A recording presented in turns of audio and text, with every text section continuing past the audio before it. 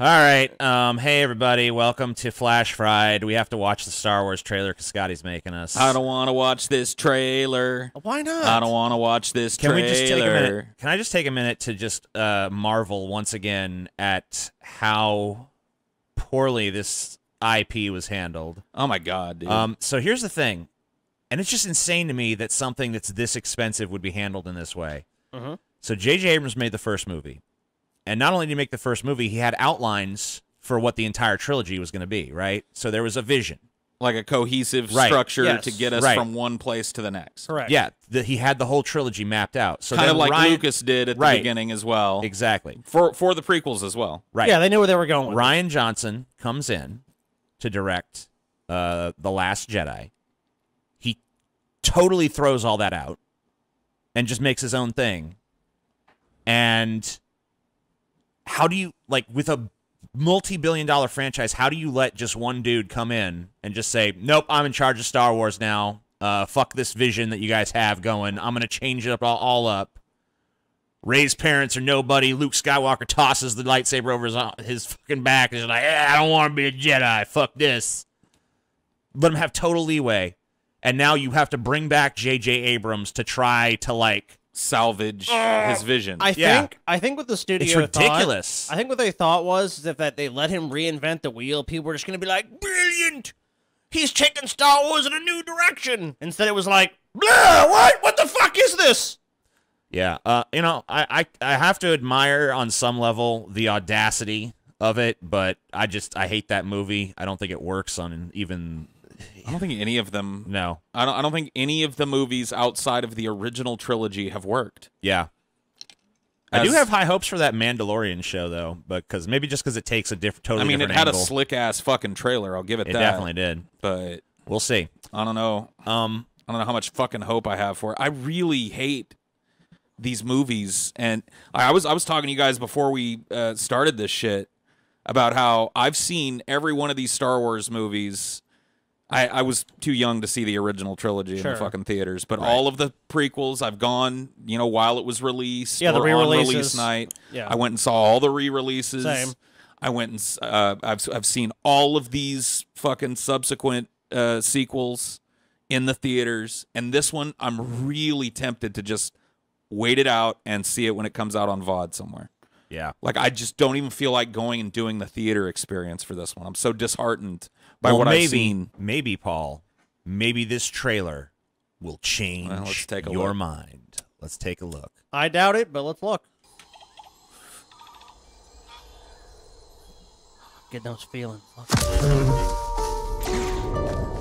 It's an instinct. Yeah, my instinct is this is gonna suck. You're right. There's an instinct involved in this, and just from the first few frames of this, I already hate it. Come on, Paul, give it a chance. I got Why an do you hate it, instinct. Paul? What's wrong with the What's wrong with those frames?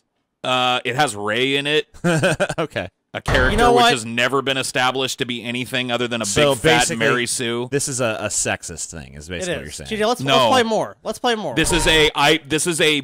They gave me a literal vanilla wafer of a character to deal with here. I have to agree with that. I, I cannot believe you guys are saying this. Feeling. The force brought us together. And then there's this dude. Um, Another vanilla. wa- Well, I'm sorry, a chocolate wafer. A chocolate wafer. yeah, hey, it's a little better wafer. than a vanilla wafer, at least. Mm, yeah, We're slightly. not alone. Good people don't will like fight wafers. if we lead them. It's Poe. Oh God, People man! keep telling me they know me. Just big CG spectacle shots. Yeah. Yay, more CG bullshit. Yay, no more character development. Yay, same bland dynamic between the characters. Yay. Does Daisy Ridley think this is acting? Because it's like it seems to be a lot of her acting is this. No, I don't know if that's her fault or just this script's fault that has never given this character anything meaty to bite into at all. It's the screenwriter's fault.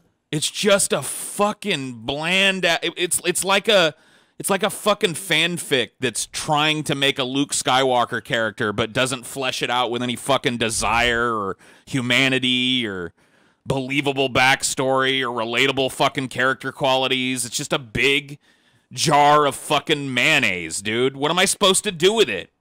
How am I supposed to, as a fucking fan of this universe, how am I supposed to get into this? Shut up Where's and eat my it. entry point into this fucking bland bullshit? It's bullshit? Star Wars, Paul. It Eat your sucks. Star Wars gruel. Eat your Star Wars sucks, gruel and you'll like it. Patented Disney Star Because you, Wars. 'cause you want to know why? You want to know why, Paul? It doesn't fucking matter because you know what? They know your ass is going to be going, this sucks. But you know what a bunch of little kids are going to be doing? I love it. why They're do gonna they? Why does every generation need their Star Wars? Why can't they get their whatever else? Why can't like I why don't does why this? Because we're lazy and we're out of ideas, and this is just No easier. one does. But I do. They're gonna fight Ter- again. terrible villain. They're gonna fight again, y'all. God, we have a connection. We will fight. that shot is just so bad. Go- Can we go back to it? Yeah, go back to that fucking reveal shot on Kylo Ren. It's just so bad. It doesn't even look badass. Yeah, just like he- looks like he's kind of just trudging. You know what I mean? And it looks like he's having to hold his breath because they're dumping so much water in his face. Yeah, he's like, oh god, this fucking. I can't work under these conditions. I mean, it's just like it's got it's got no style to it. He's never landed as a villain. Dude, in the beginning of the first Star Wars movie, Darth Vader comes in and it's like, "Brr, brr, brr," and like he- he ha- immediately has a presence, a commanding presence on the screen. Kylo Ren's just like this dork, like some loser's cosplaying and like shows up. lightning bolt. That's what he feels like. That's what Adam Driver's Kylo Ren feels like. I feel like that some dork wandered onto the set. They're like, yeah, use him. It just sucks. Long have I waited, No, It's like something out of Game of Thrones. and now. The Night King coming back. coming I don't together. prefer him. Oh, Chewbacca, why? Is your undoing. Oh my Dude, God. can I say something? Yes. Yeah, go ahead.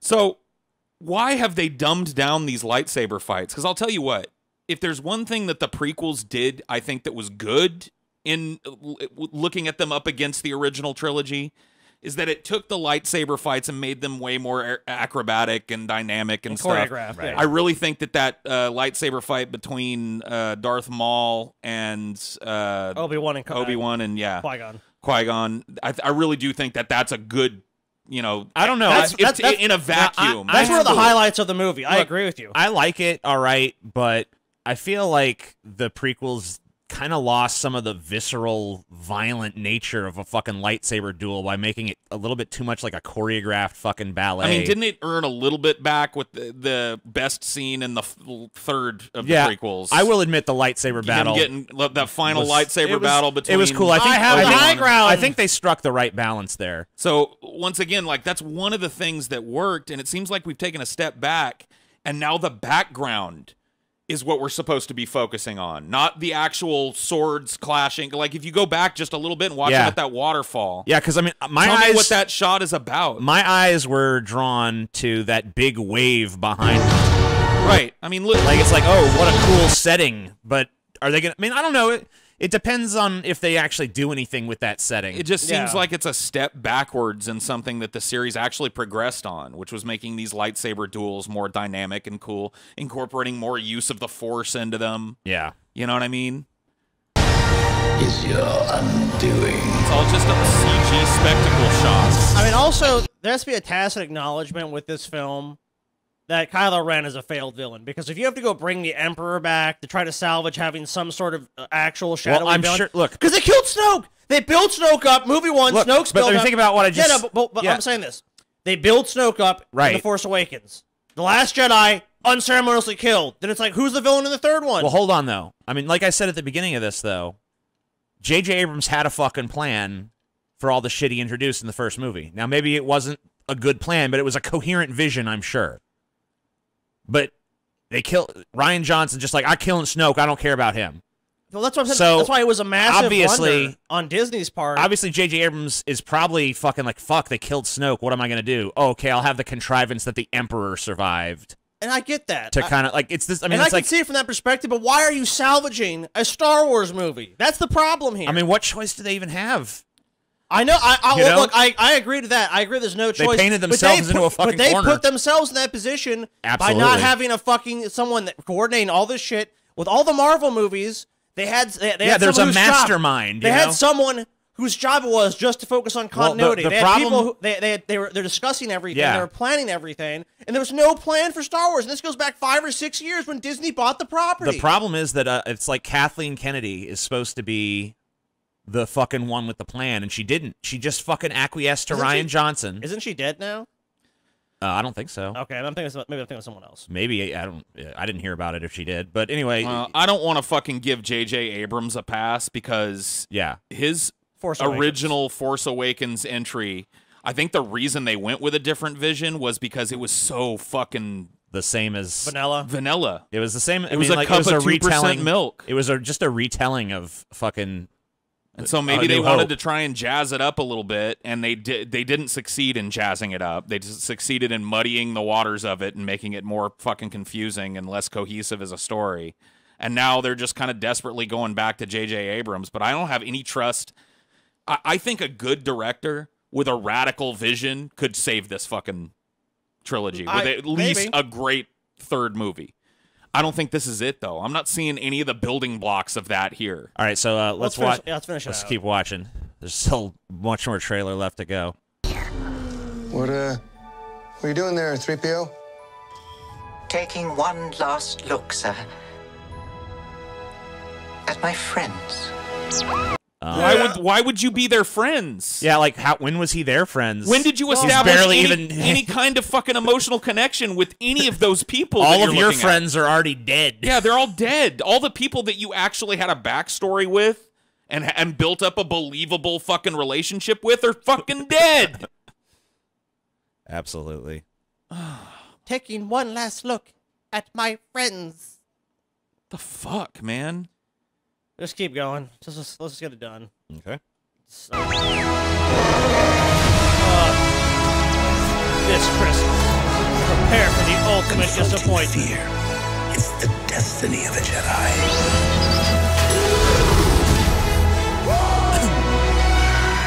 Your destiny. The saga will end. Not that space horses, dude. Horses?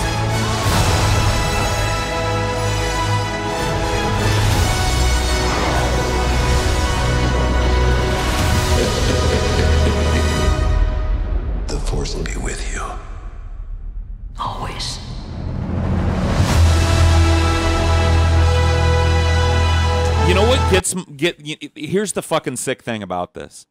This trailer, even though I don't like anything I see in it, hits emotional triggers in me because of the music and the presentation and the font. Mm-hmm.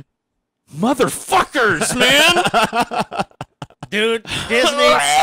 it's because you have such nostalgia for the original trilogy that it's hard. it's not just nostalgia, dude. I'm a fucking. I have reverie, like a, a sense of reverence for those movies. Like I just Hold on, I want to love figure out what's going on here. What are they smashing there? They're just. I don't know. They're working together to smash yeah, but something. what I'm saying, but when you were young and dumb, this shit got hooked into your fucking brain. Yeah, I'm sure there's reverence and love for it. I'm saying that's the nostalgia come out. That's like remembering the good memories of sitting down and watching these the original movies over and over and over again. Which I mean, I think all of us did. Is oh, yeah. terrible. I mean, when they re-released them, like me and TJ were at the theaters. I mean, like I'm sure you were too. You're like, oh, I gotta see it, I gotta see it, I gotta see it, and you just and you just loved it and ate it up. And then it's like, oh, we're gonna make the we're gonna make the prequels, and everyone was so excited. And then Star Wars just kind of became this negative thing for a while, and then this felt like it, maybe it's gonna be something good again. Disney's in charge of it. They've done this shit with Marvel. They're gonna fucking be the savior that Lucas fucking crashed and burned. But now we're gonna have something beautiful again. And now we're just at the same spot we were before. it just feels like a cheap fucking play, dude. And you know what? As much as you talk, I guarantee you your ass is gonna be in the theaters. Maybe won't be their opening week, Paul, but they're able to hook you back in. Come on, Paul, come back I just in. don't want to do it this time. the force is strong with us, Paul. Your money need to be spent here. Sucks, man. You're powerless, dude. You're powerless. You're caught. You're caught in a fucking machine. You can't stop, dude. No fucking choice but to just eat the sponge cake in front I'm of me. saying, eat the goo, Paul. Eat the fucking s- Good. unsweetened sponge cake ahead of you. Just eat it out. I uh all right. I put all my hopes into Dune. oh yeah, for Dune. Dune is gonna be fucking awesome. I actually, I actually just went to the bookstore and bought uh, Dune. How how sad would you be, Paul, if the trailer came out and it didn't look good? What Dune? Yeah. Everything that they've released, like all the conceptual art is good, and It the, looks really the few positive. shots that they've released and the few little teaser things they've released all look good. If I was a But if betting it looks man, like dog shit, I'll call it dog shit. if I was a betting man, I guarantee you there'll be a Dune trailer, at least a teaser. but I'm telling you, dude, movie. Denis Villeneuve is doing this Dune thing. and You, mispronounced that. You butchered the name. No, no, no! I got it right this time. The first time I called him Dennis Villanueva. It's Villanova.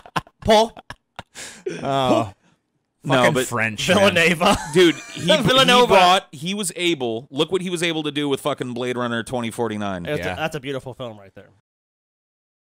Become a patron, and I'll pull my dick out live on a show. I'm, I'm shit you not.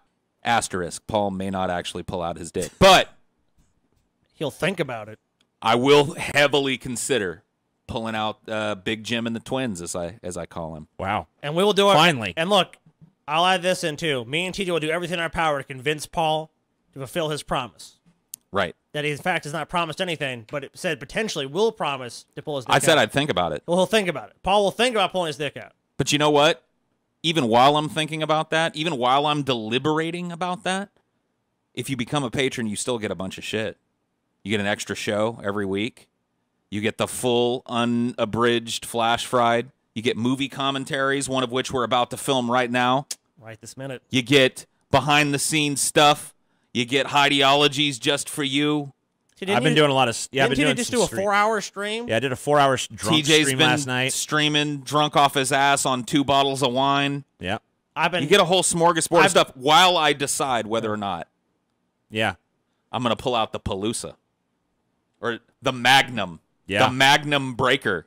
That's what that's what they called Magnum me. Breaker, That's dude. what they called me back in high school. Wow. Paul the Magnum Breaker Parky was my uh If you want to see Paul's enormous tree trunk of a enormous cock, doesn't even begin Yeah. to fucking you got to you got to understand. It's a, it's comically huge. become a patron, you bastards. You know you wanna.